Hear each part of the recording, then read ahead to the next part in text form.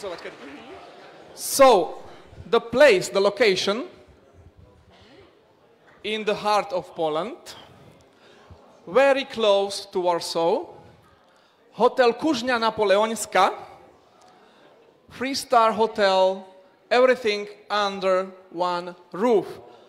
So we will...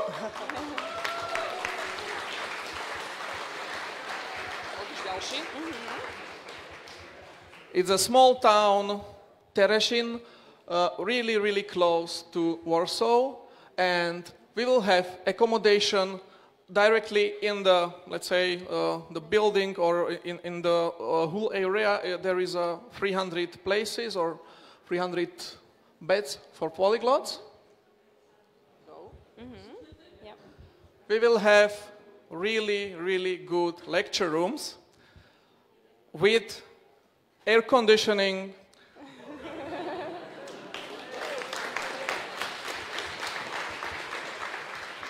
with good sound, with projectors, etc. We will have really great buffet. The meals will be really worth it. So if you like Polish cuisine, or if even if you don't know it, you will love it. we will have chill out zone, the grill area with for 200 people, a beautiful park with no English zone or maybe no English park. I don't know yet. and in the hotel, in the conference hall, nightlife uh, with a restaurant, with a bar open 24 hours.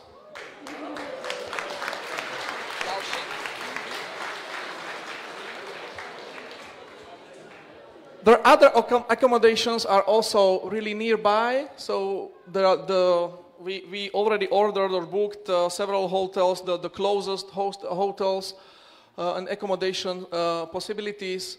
Uh, most of them are walking distance from the, uh, uh, from the conference place, one till six kilometers from the venue. And we will have enough place to put all of you there, hopefully. And as you can see, or maybe not, uh, Teresin uh, in Warsaw is only 35, 45 minutes uh, by train from the airport, so it's 48 kilometers. The ticket is less than 5 euro. Today it was 320. Uh, and also from Warsaw Central Station, uh, there are direct trains. So it's actually almost the same or even closer as the shuttle bus from Vienna airport to Bratislava. So, yes, if you, if you are curious about the Polish cuisine, we will have something for you. Będzie na pewno wódka, będzie żywiec, będzie kiełbasa, wegańska oczywiście też. Będą pierogi, zapiekanki.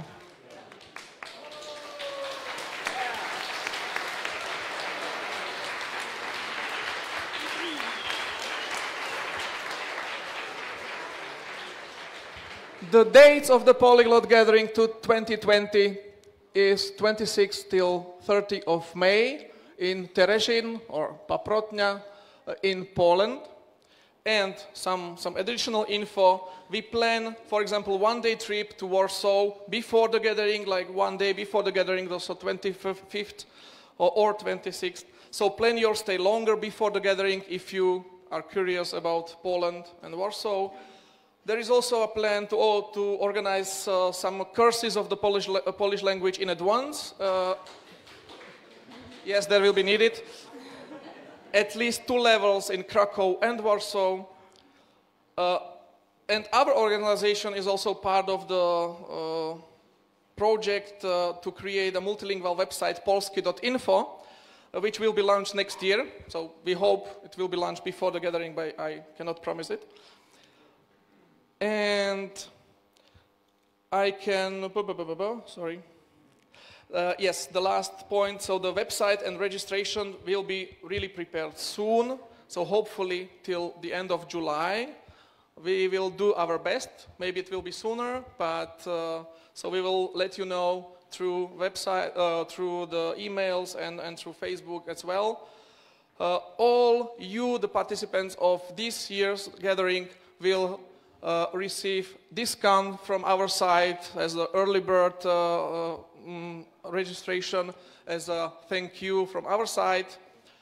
And uh, the last, last information, if you are a Polish speaker or directly from Poland and would like to help us to organize, hopefully once again, the biggest polyglot event in the world, let us know, or today or after the gathering by email.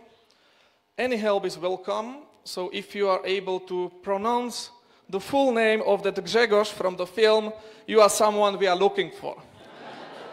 So see you next year during the Polyglot Gathering 2020 in Poland.